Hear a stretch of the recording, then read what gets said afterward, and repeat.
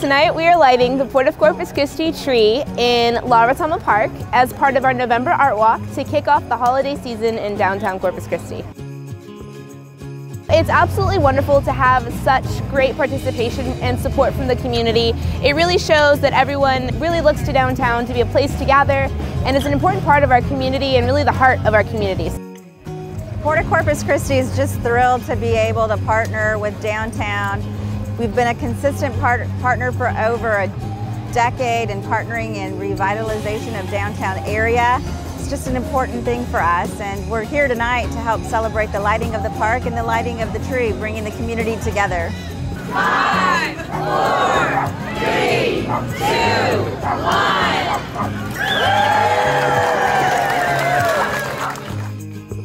This was a perfect evening. The, the weather is just absolutely beautiful.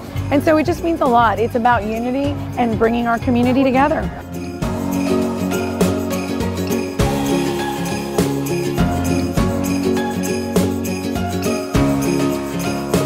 You know, I think that tonight's crowd was a perfect example of what a healthy community looks like and what a community that's ready to, to start to celebrate life and the holidays.